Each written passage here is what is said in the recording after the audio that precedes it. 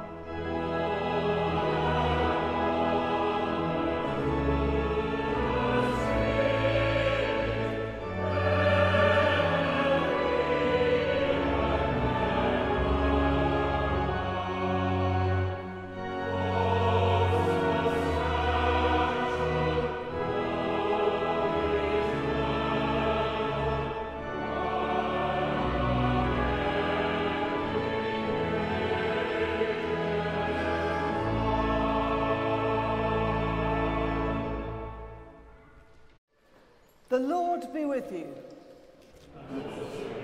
Alleluia, Christ is risen. Is risen Please be seated.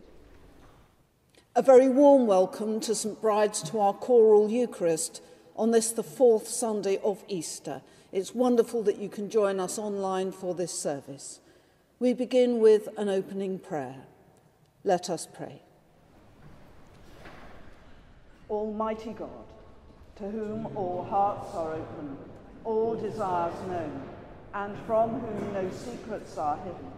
Cleanse the thoughts of our hearts by the inspiration of your Holy Spirit, that we may perfectly love you and worthily magnify your holy name. Through Christ our Lord. Amen. Christ, our Passover lamb, has been sacrificed for us. Let us therefore rejoice by putting away all malice and evil and confessing our sins with a sincere and true heart. Almighty God, our Heavenly Father, we have sinned against you and against our neighbour in thought and word and deed, through negligence, through weakness, through our own deliberate fault. We are truly sorry and repent of all our sins. For the sake of your Son, Jesus Christ, who died for us, forgive us all that is past, and grant that we may serve you in newness of life, to the glory of your name. Amen. Almighty God, who forgives all who truly repent, have mercy upon you, pardon and deliver you from all your sins, confirm and strengthen you in all goodness, and keep you in life eternal, through Jesus Christ our Lord. Amen.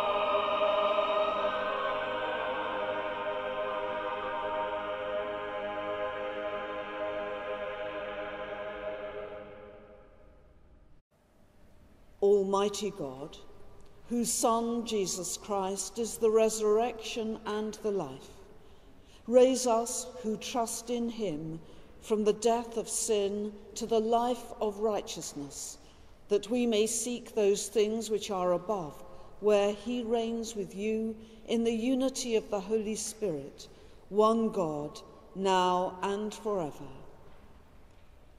Amen. A reading from the Acts of the Apostles.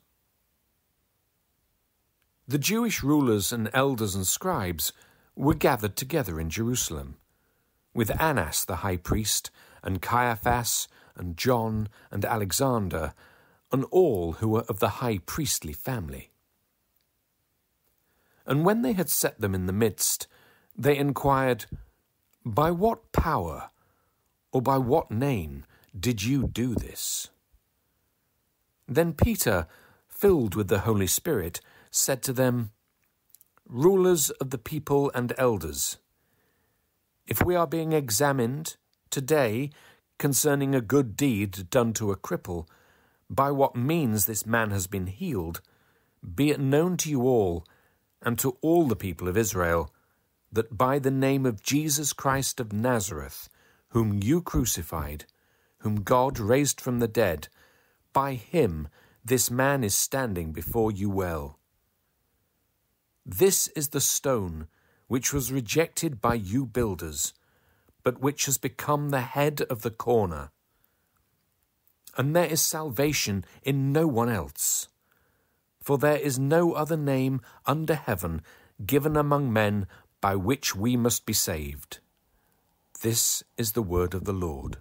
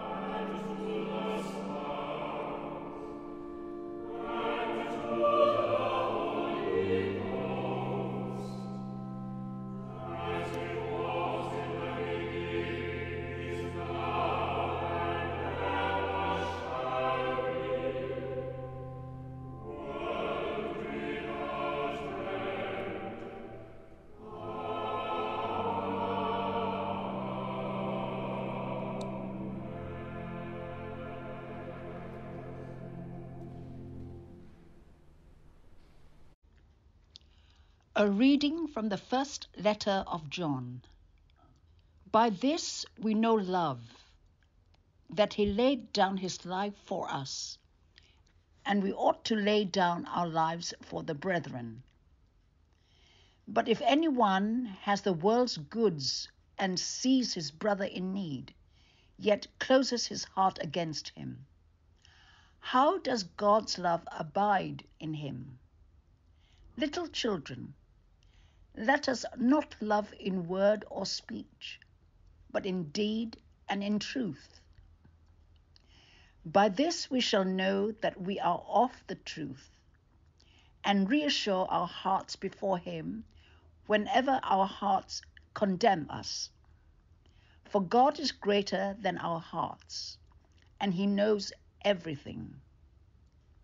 Beloved, if our hearts do not condemn us, we have confidence before God, and we receive from Him whatever we ask, because we keep His commandments and do what pleases Him. And this is His commandment that we should believe in the name of His Son, Jesus Christ, and love one another, just as He commanded us. All who keep His commandments abide in Him, and He in them. And by this we know that He abides in us, by the Spirit which He has given us. This is the word of the Lord.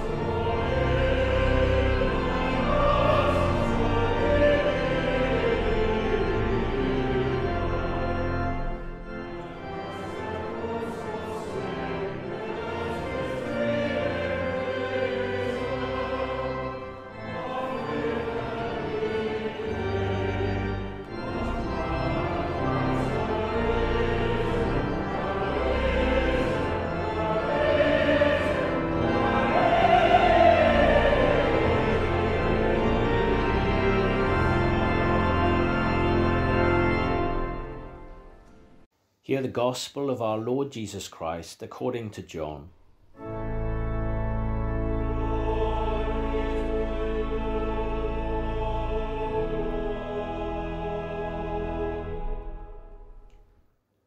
I am the Good Shepherd. The Good Shepherd lays down his life for the sheep. He who is a hireling and not a shepherd, whose own the sheep are not, sees the wolf coming and leaves the sheep and flees, and the wolf snatches them and scatters them. He flees because he is a hireling and cares nothing for the sheep. I am the good shepherd. I know my own, and my own know me, as the Father knows me, and I know the Father, and I lay down my life for the sheep. And I have other sheep that are not of this fold. I must bring them also, and they will heed my voice. So there shall be one flock, one shepherd. For this reason the Father loves me, because I lay down my life, that I may take it again. No one takes it from me, but I lay it down of my own accord. I have power to lay it down, and I have power to take it again. This charge I have received from my Father. This is the gospel of the Lord.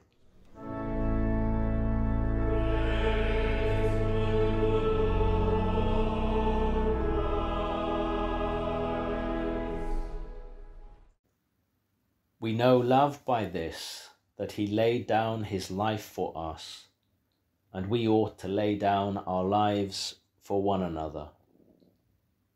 May I speak in the name of the living God, Father, Son, and Holy Spirit. Amen.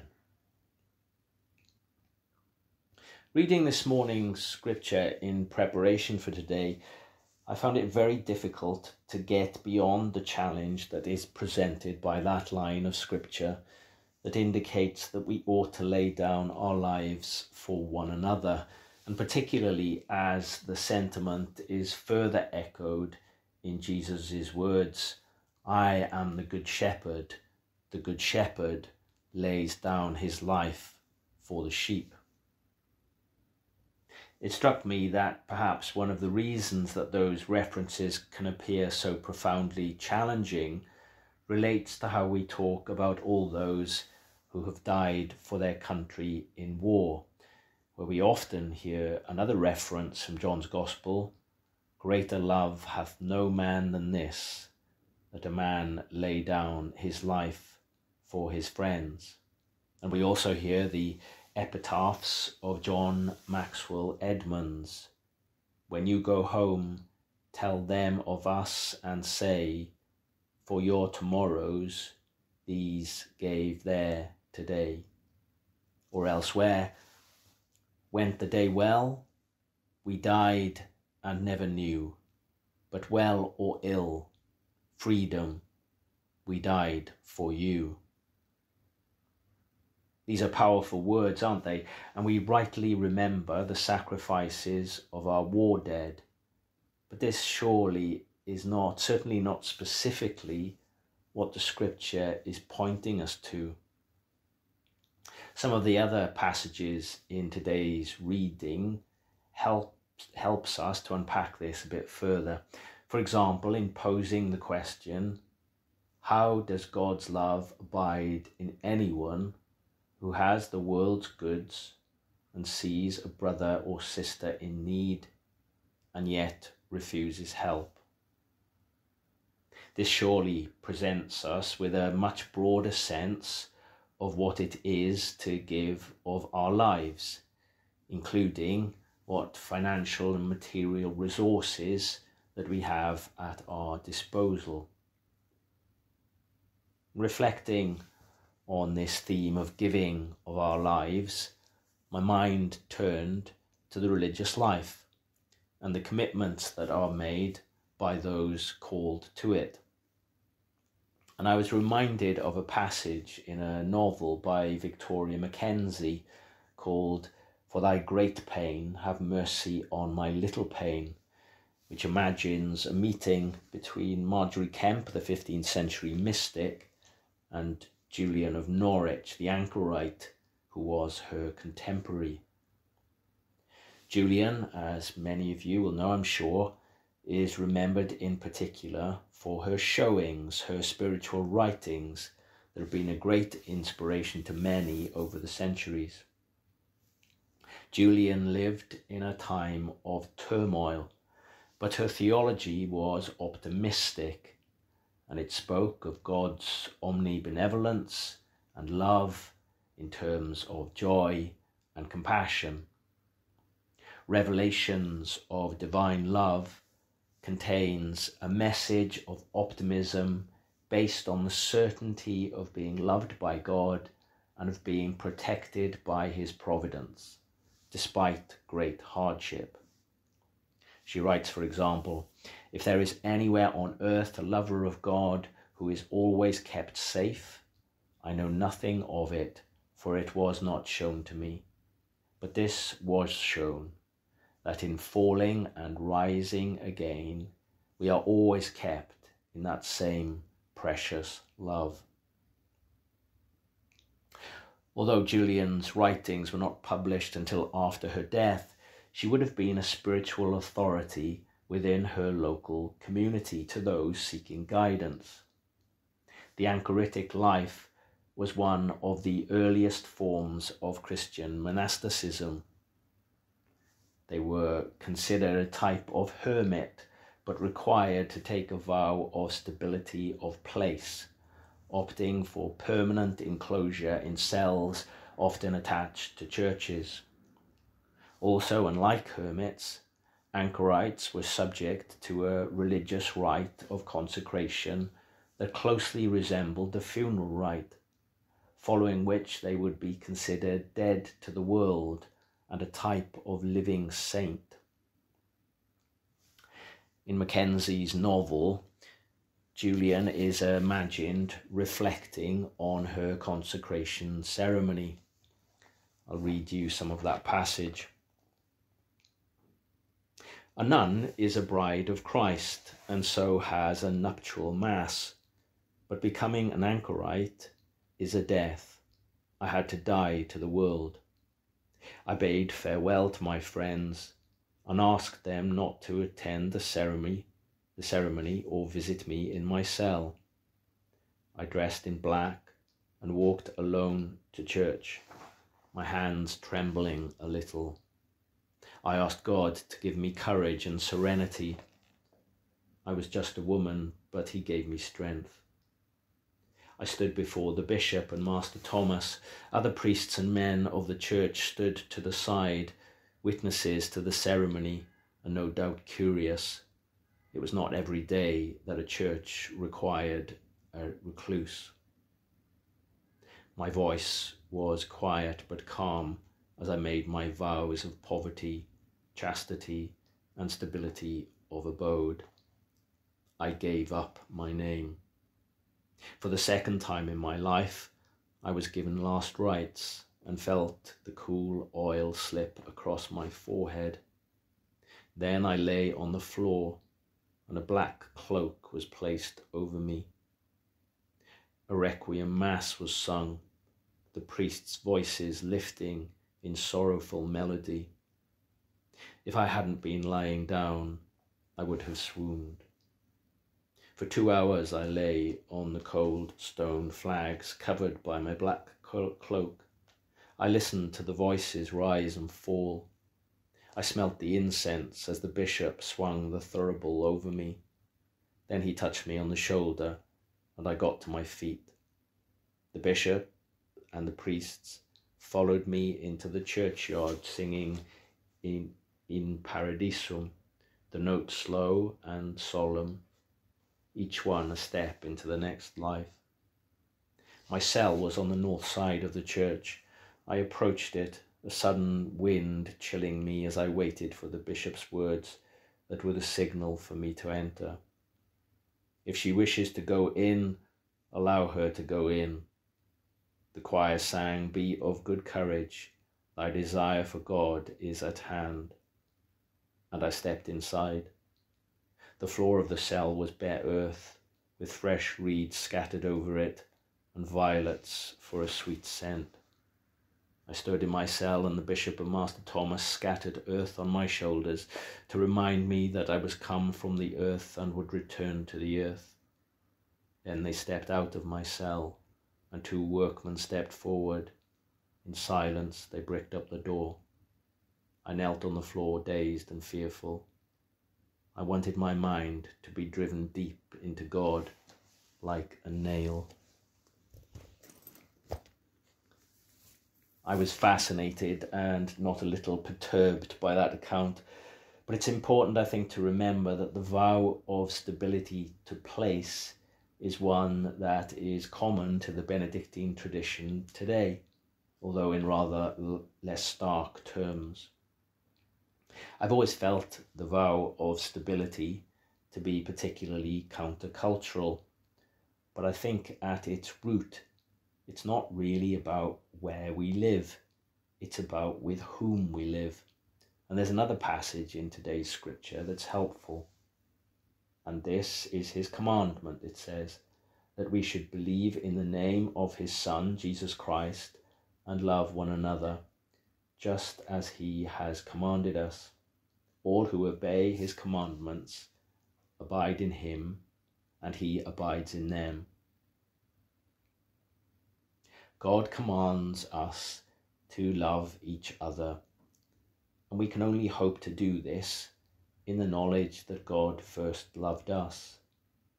It's in response to and in showing our gratitude for God's love that we channel His love to those around us in the power that comes from the Holy Spirit dwelling in our hearts. This then is an invitation both to a laying down of our lives and to the gift that is the fullness of life in Christ.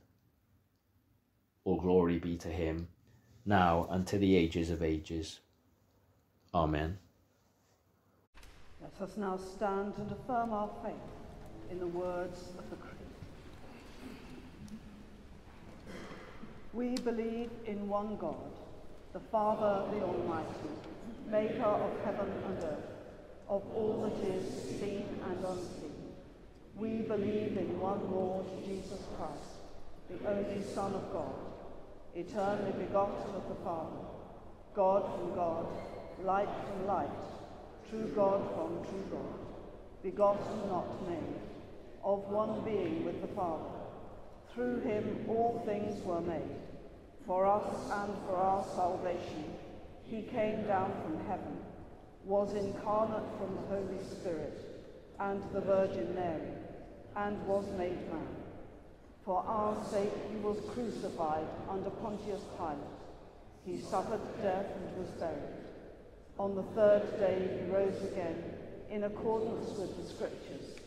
He ascended into heaven and is seated at the right hand of the Father.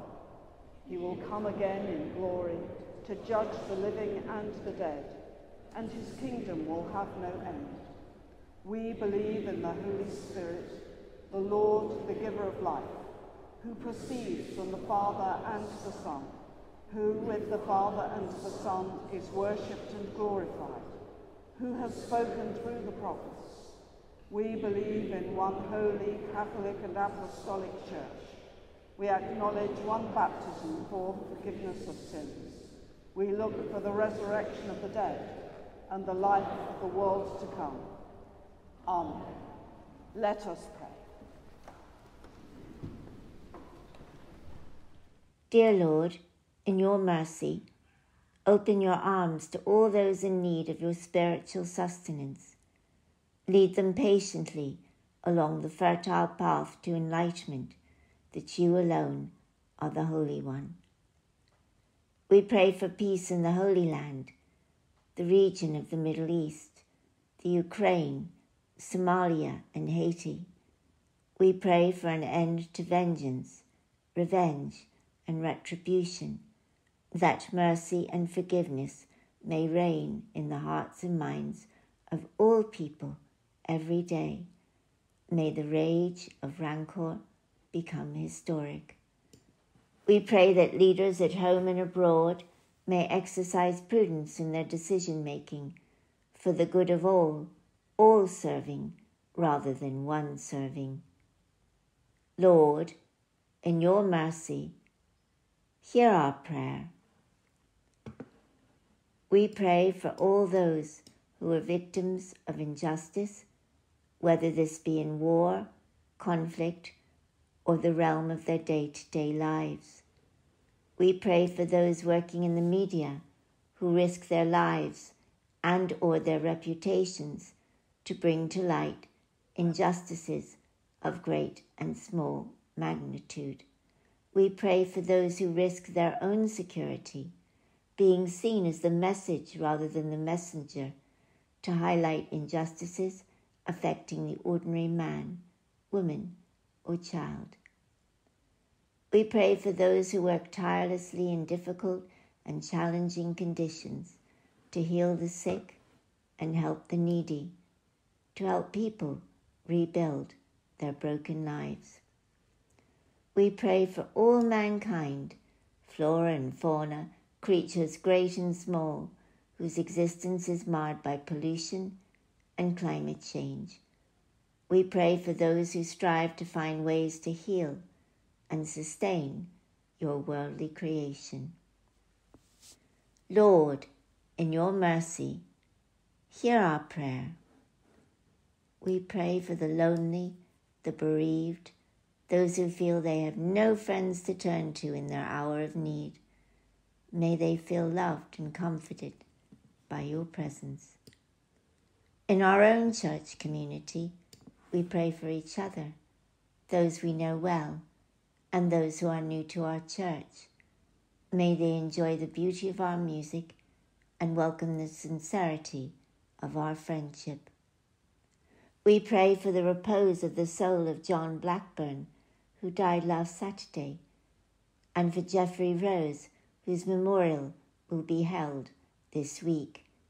We pray for Ray Jukes and Sarja Jakanovich, the anniversaries whose death fall this week.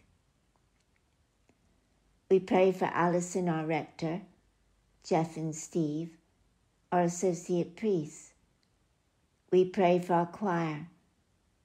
For their hard work, we thank our staff, Claire and James, and our verger, Robin. We thank B, B and Steve for helping with refreshments.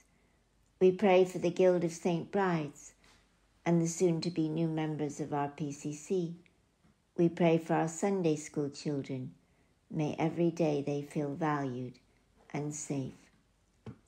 We pray for the leaders of our Sunday school, Joanne and John. Dear Lord, in light of what we especially need in our fractured world, I think of the words of Dag Hammarskjöld. Forgiveness is the answer to the child's dream of a miracle, by which what is broken is made whole again, what is soiled is made clean again. Please help us, dear Lord, to achieve this miracle. Merciful Father, accept, these prayers, for the sake of your Son, our Saviour, Jesus. Christ. Amen. Will you please stand? The risen Christ came and stood among his disciples and said, Peace be with you. Then were they glad when they saw the Lord. Alleluia. The peace of the Lord be always with you.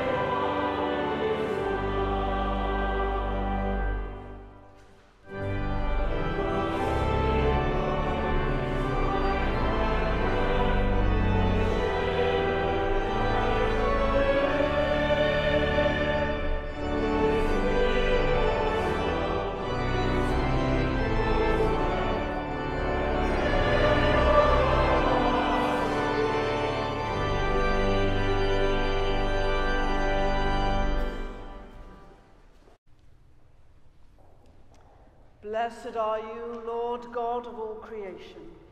Through your goodness we have this bread to offer, which earth has given and human hands have made. It will become for us the bread of life. Blessed be God forever. Blessed are you, Lord God of all creation.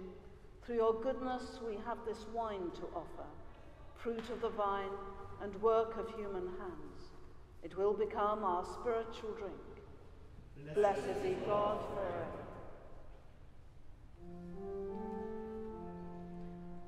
The Lord be with you.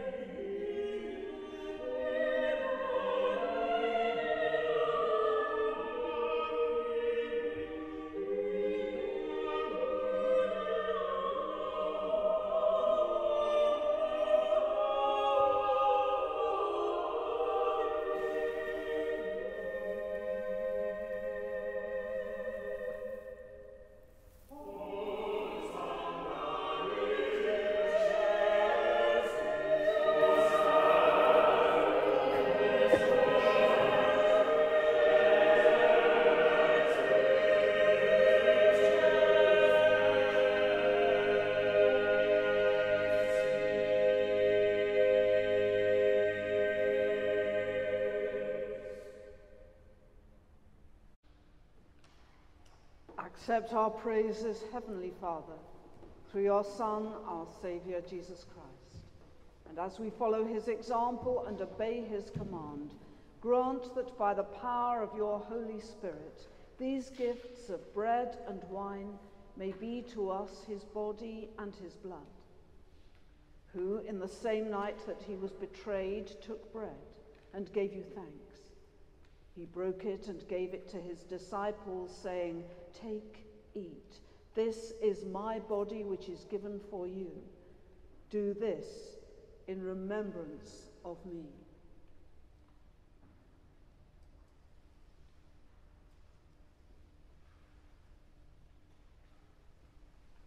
In the same way, after supper, he took the cup and gave you thanks. He gave it to them, saying, Drink this, all of you. This is my blood of the new covenant, which is shed for you and for many for the forgiveness of sins. Do this as often as you drink it in remembrance of me.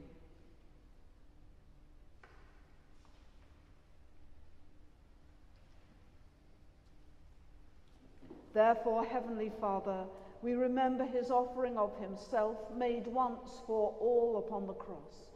We proclaim his mighty resurrection and glorious ascension. We look for the coming of his kingdom. And with this bread and this cup, we make the memorial of Christ, your Son, our Lord. Great is the mystery of faith. Christ has died. Christ is risen. Christ will come again. Accept through him, our great high priest, this our sacrifice of thanks and praise. And as we eat and drink these holy gifts in the presence of your divine majesty, renew us by your Spirit, inspire us with your love, and unite us in the body of your Son, Jesus Christ our Lord. Through him and with him and in him, in the unity of the Holy Spirit, with all who stand before you in earth and heaven, we worship you, Father Almighty, in songs of everlasting praise. Blessing and honor and glory and power be yours forever and ever. Amen. Let us pray with confidence as our Saviour has taught us. Our Father, who art in heaven, hallowed be thy name. Thy kingdom come, thy will be done, on earth as it is in heaven. Give us this day our daily bread, and forgive us our trespasses, as we forgive those who trespass against us. And lead us not into temptation, but deliver us from evil. For thine is the kingdom, the power, and the glory, for ever and ever. Amen. We break this bread to share in the body of Christ. Though we are many, we are one body, because we all share in one bread. Draw near with faith. Receive the body of our Lord Jesus Christ, which he gave for you, and his blood, which he shed for you. Eat and drink in remembrance that he died for you, and feed on him in your hearts by faith with thanksgiving. We do not presume to come to this your table, merciful Lord, trusting in our own righteousness, but in your manifold and great mercies. We are not worthy so much as to gather up the crumbs under your table, but you are the same Lord, whose nature is always to have mercy. Grant us, therefore, gracious Lord, so to eat the flesh of your dear Son, Jesus Christ, and to drink his blood that our sinful bodies may be made clean by his body, and our souls washed through his most precious blood, and that we may evermore dwell in him, and he in us.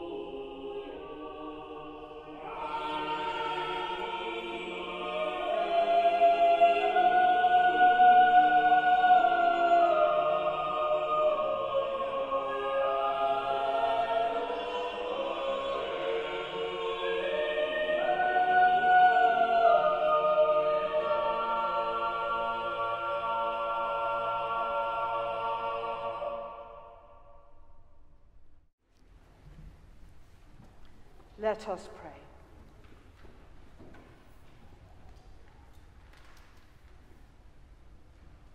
Merciful Father, you gave your Son, Jesus Christ, to be the Good Shepherd, and in his love for us, to lay down his life and rise again.